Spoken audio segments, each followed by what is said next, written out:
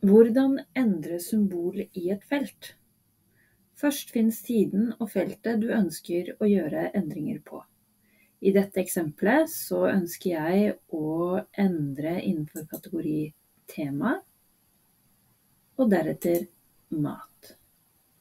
Og her velger jeg snacks. Jeg ønsker å endre symbolet for Ritz-kjeks.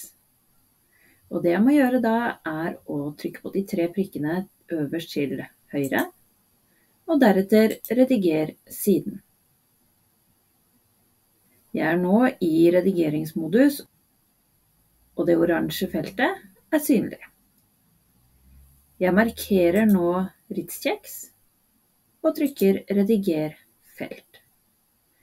Denne gangen så markerer jeg symbolet og ulike alternative symboler dukker opp. Jeg velger å trykke på Finn bilde,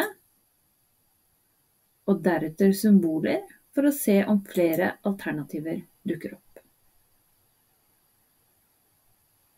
Jeg velger så det symbolet som jeg tenker representerer objektet best.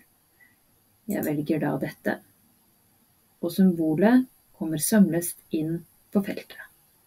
Når jeg er fornøyd, trykker jeg ferdig, og deretter fullfør rediger.